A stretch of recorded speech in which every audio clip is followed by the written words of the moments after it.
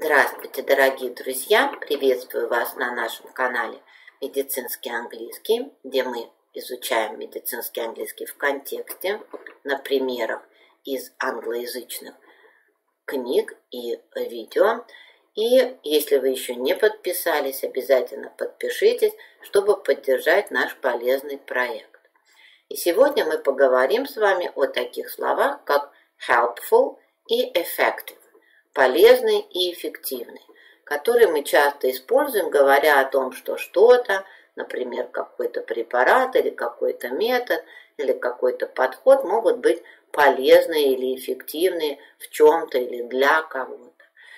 И а, эти прилагательные используются очень часто с предлогами после них. Перед ними обычно стоит глагол to be в его различных формах, а после него стоят предлоги. Поэтому а, запоминайте helpful, effective, после них стоит часто предлог in или предлог at.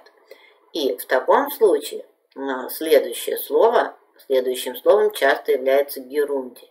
Напоминаю вам, что герунди это глагол с окончанием ing. Еще раз. Первый вариант helpful, effective, plus in or at – plus gerund. То есть предлоги in или at, или и далее герундий. Давайте посмотрим на несколько примеров. Все примеры взяты из, а, все примеры взяты из книги Харрисона, которую мы разбираем в нашем курсе медицинский английский по Харрисону. Многие знают это известное руководство – и а, давайте посмотрим, как в Харрисоне используются эти слова. No specific pharmacologic therapies have been shown to be helpful in or at preventing or reversing the condition.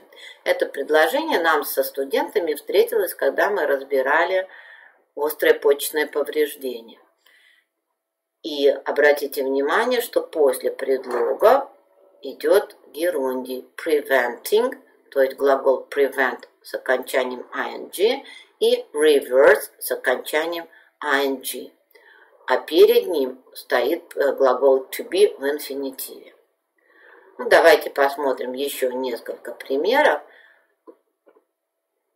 А, всю эту табличку можно будет а, увидеть и скачать на, а, в нашей группе ВКонтакте и также на нашем сайте. Все ссылочки будут э, под данным видео.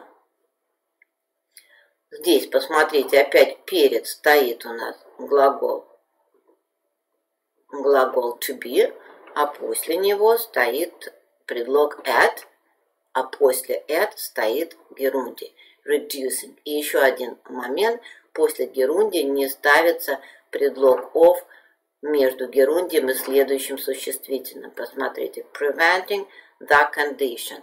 Не preventing of the condition, а preventing the condition. Reversing the condition. Это еще один важный момент. Также здесь reducing the side effect.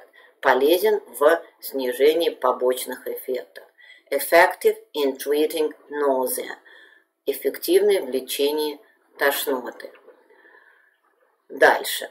Uh, to be effective in preventing the acute attacks. Быть эффективным для профилактики острых приступов. Опять смотрим, что стоит впереди, что стоит позади. Вообще приучайтесь к такому внимательному и аналитическому чтению. И на всех своих курсах я делаю на этом акцент, чтобы вы учились эм, делать выводы о каких-то грамматических или лексических конструкторах, когда вы читаете или смотрите какое-то медицинское видео или тексты на английском. Всегда смотрите, что стоит впереди, что стоит позади, в каком контексте это используется. А, встречаете ли вы похожие структуры, чтобы сделать вывод о том, что да, именно так используется данное слово или данная грамматическая структура. Еще раз, мы здесь смотрим впереди часто глагол to be, после предлог in или at, герундий, то есть форма ing, и без предлога следующее существительное. Нет предлога of.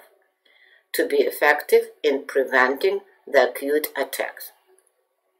Следующее. Следующий пример.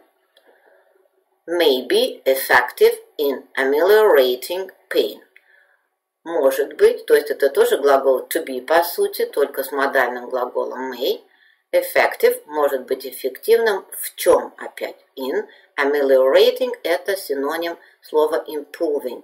Дословно улучшение, ну мы можем сказать уменьшение. Ameliorating pain. И опять нет у нас здесь предлога of. Многие стараются сюда поставить предлог of, никогда не ставится после герундия э, перед следующим существительным предлог of. Следующее. Is only effective in detecting small to moderate effusions.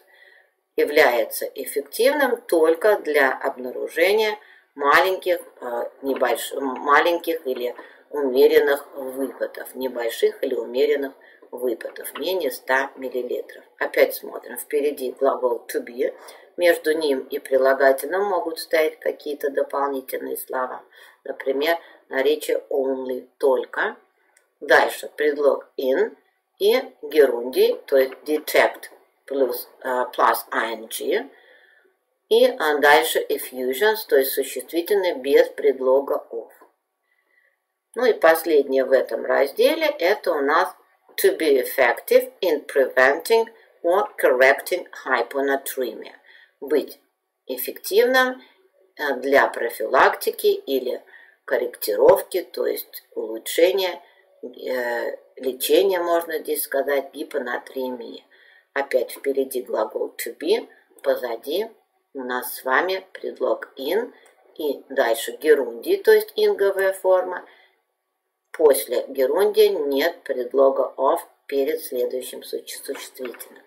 Еще раз просмотрите а, эту, эти примеры, эту табличку и проанализируйте, как используются прилагательные, прилагательные helpful и effective, потому что это правило действует для а, двух этих прилагательных с предлогами in, at и герундием после них. Это был первый пример – и в следующем видео мы поговорим с вами еще об одном предлоге, который может стоять после этих э, прилагательных.